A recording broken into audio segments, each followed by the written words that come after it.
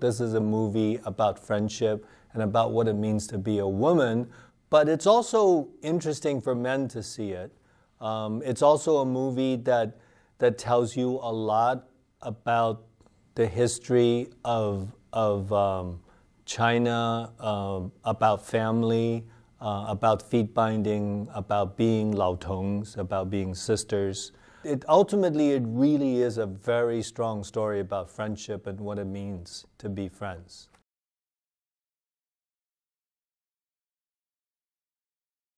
This is about a time in history in China where women really were treated in a certain way and had to survive within this context. And I wanted to make sure that that came through very authentically.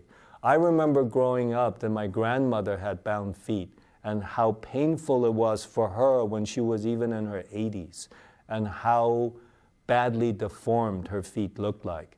Um, and that's why I, I, I feel like it needs to be told, uh, the story.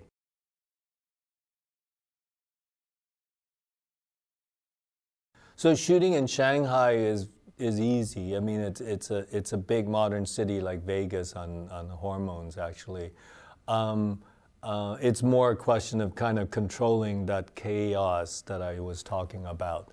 Um, but we also shot four hours outside of Shanghai in a little village called Hengdian, which is sort of like a Chinese version of Universal Studios, where they have moved all the old different architectures from different dynasties there and different sets they have built for different movies there. Uh, and, but they put them together with no rhyme or reason, so they're just kind of stuck in with each other.